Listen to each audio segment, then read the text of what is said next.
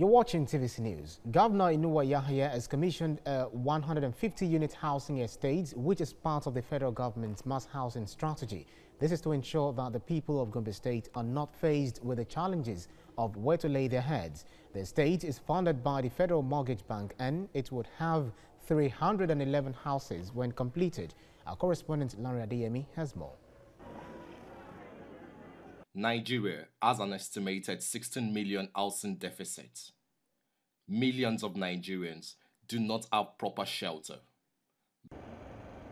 The federal government, through the Federal Mortgage Bank, is financing mass housing. This estate being commissioned is an example of how successful the policy could be.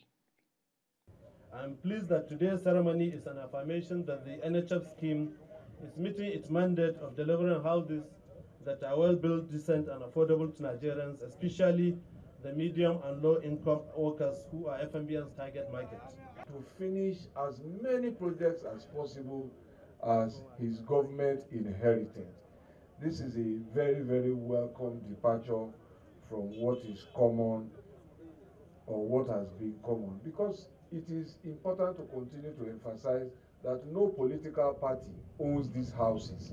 It is the people of Nigeria who own them. Providing shelter, indeed, is one of the basic, basic responsibilities of government. I know for sure that is not an easy task, especially against the background of the financial difficulties that this country is facing. But nonetheless, it is possible.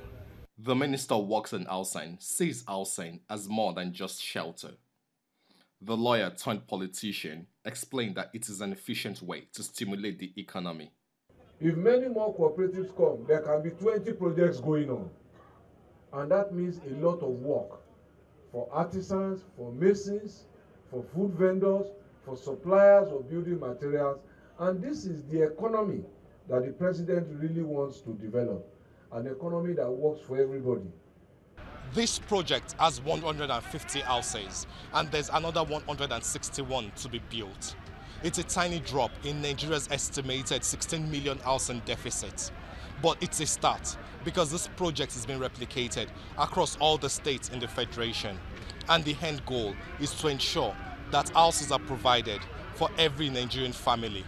Landry Adeyemi, TVC News, Gombe.